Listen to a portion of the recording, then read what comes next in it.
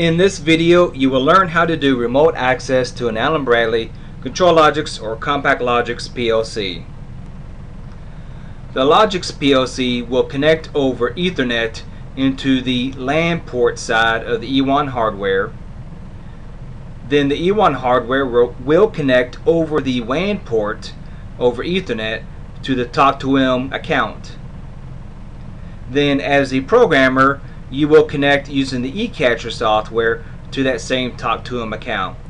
This will establish a VPN tunnel between the RSLogix 5000 programming software and your Logix PLC over Ethernet IP. This also can be accomplished using the onboard serial port using the DF1 protocol and you can see how this is done by watching the video on how to access a remote PLC to a SLC 500. For this presentation, we will be focusing on the CompactLogix PLC. The routing is done in the Talk2M account, therefore the network or the IP network that you reside on cannot be on the same IP network as your Logix PLC. We have already made a connection to our Talk2M account through eCatcher and connected to the eWON. Then by clicking on the IP address up here in the top table, we can open up Internet Explorer and then go in and look at the configuration settings of the eWON. Let's type in the username and password. Go to configuration, system setup, and communication. We can see from the network connections underneath Ethernet in Ethernet 1, this is the LAN side of the eWON hardware. We have an IP address of 192.168.0.88.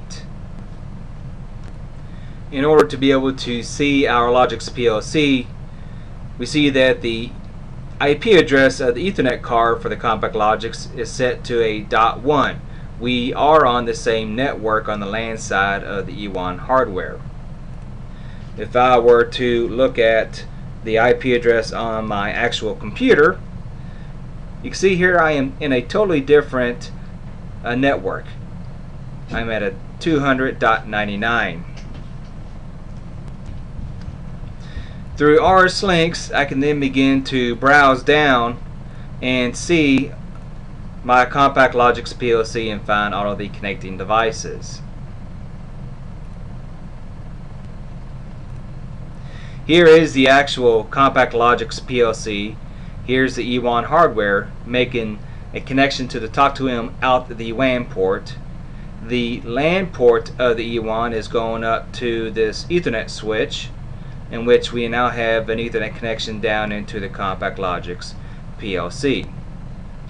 Over here is a combination digital input digital output card and for the purposes of demonstration I will turn on some of the digital outputs.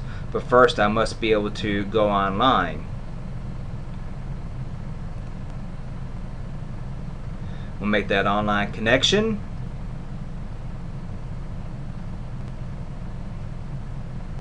Alright very good.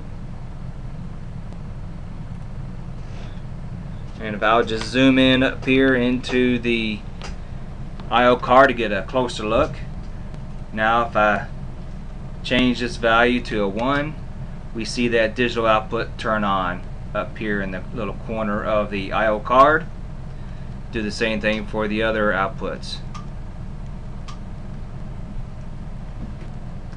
So this is how you do remote access to an Allen Bradley ControlLogix or CompactLogix PLC.